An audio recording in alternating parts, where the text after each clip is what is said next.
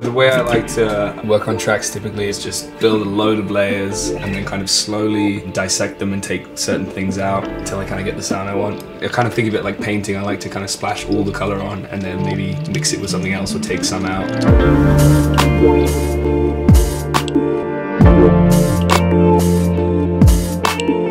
Hi, my name's Rich. I make music as Daktyl. I've been touring all this year, all over the world. I've been touring with Bonobo, TroyBoi, and uh, bunch of my own headline shows. This is my home studio. It's where I pretty much spend my life. So just gonna show you around and make some music. Uh, so I'm just gonna load up some of the patches from the Base Bass expansion and try and make some textures out of them.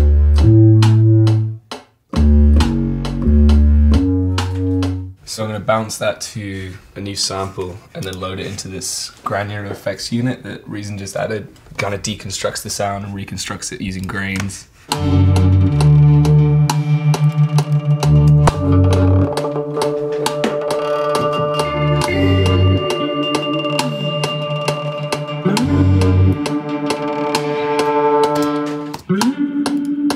That would sound great. Reversed with like a tape delay on it.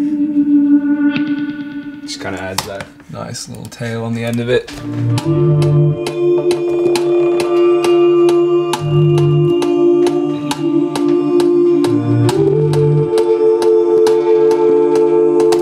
I'm gonna bust them together in the mixer up here. So yeah, I just added a filter to everything. Um, basically high cutting all of the vocals.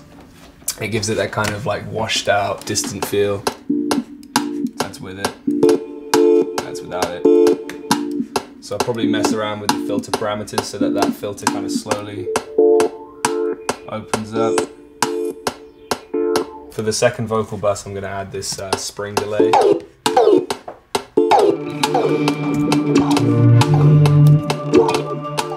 Yeah, I'm gonna get some uh, piano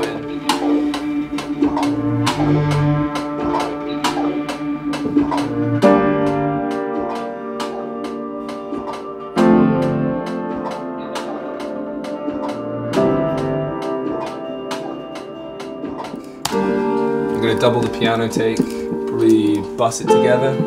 I'm actually also gonna add one track, just reversing the piano. I love the sound of piano reversed. And now I'm just gonna wash that out with a huge kind of cathedral verb. Cut it, cut some of that noise out the top end. Yeah. Now I use this um, organelle quite a lot.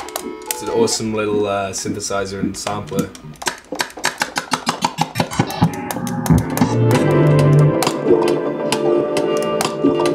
I'm just gonna have that as a kind of um, marker for where the beat's gonna be. I use this uh, Korg MS-20 synthesizer quite a lot for um, kind of blip sounds.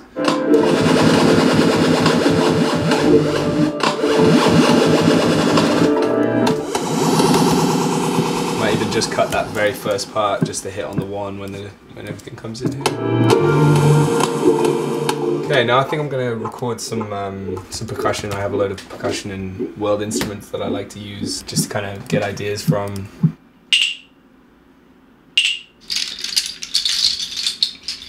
So I've just put that percussion sound into uh, this granular effects unit. What I like to do with these kind of percussive ambient sounds is I'll often um, bust them together and then kind of increase the level as they get closer to whatever the, the moment is in the track in which you want to build suspense. I'll automate the, the level on like a compressor or a limiter and it'll just build and build and build and then cut. Alright, I'm gonna add some kicks.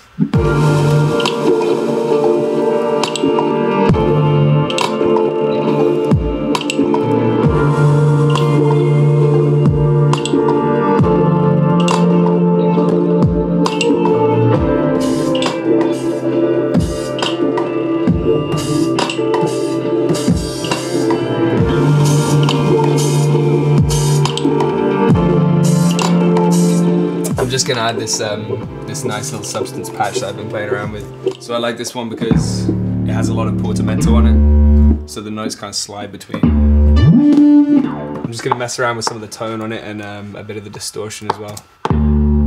Gonna get some of that um, portamento going with it